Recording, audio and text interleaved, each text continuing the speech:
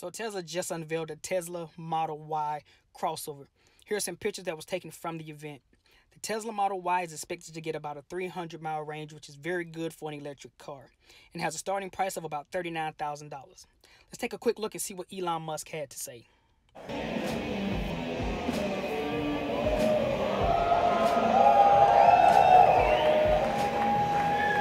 The Model Y. Yeah. So, uh, like the 3, uh, it, it, will be extremely safe. So that the, you may know the, the Model 3 uh, has the, uh, the lowest probability of injury of any car ever tested by the US uh, government. Um, the Model Y, we expect, will have a, a similar result. Uh, five stars in every, every, every category. With the battery pack low, low in the floor, it's going to have a very low center of gravity. So this will, it, it, it, it has the, the functionality of a, of an SUV, but will, it will ride like a sports car. So this thing will be really tight in corners.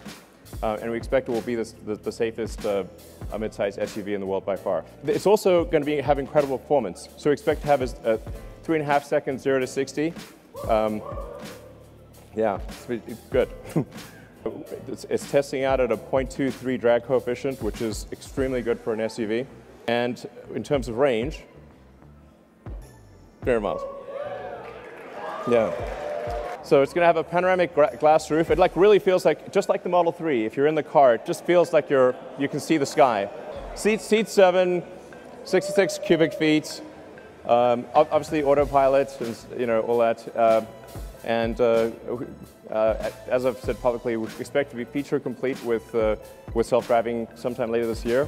Um, and then uh, as, as we prove out the safety with uh, billions of miles of kilometers uh, we will, uh, from our standpoint, feel it's like safe enough to not pay attention and then get the regulatory approval sometime thereafter.